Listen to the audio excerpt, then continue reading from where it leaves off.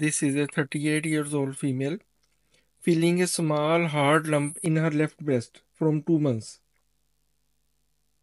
Like this patient, every female should self-examine her breast after 35 years of age because breast cancer is the most common cancer of females.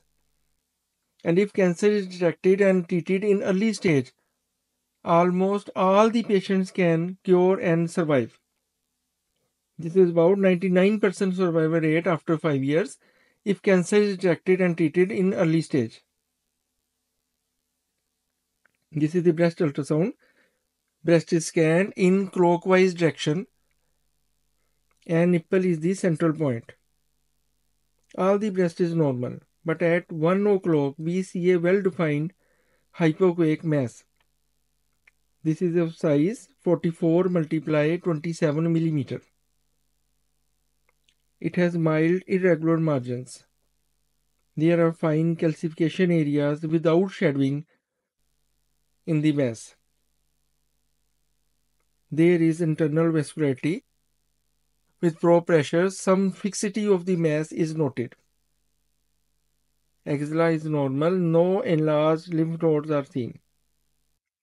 So all these findings give the possibility of malignant mass, which was later proven by the biopsy. There are many risk factors of breast cancer, like old age over 50 years of age.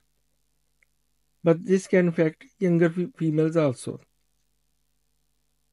Half of the breast cancer occur in women without any specific risk factor or cause. But other females at high risk include family history, genetics, hormonal therapy,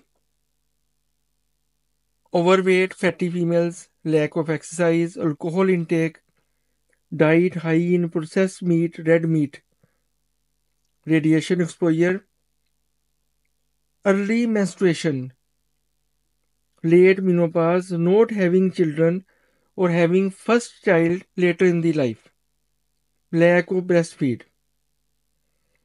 These all risk factors can affect about 50% patients of breast cancer. Rest of the 50% patients have no any specific cause or risk factor. Thanks for watching the video.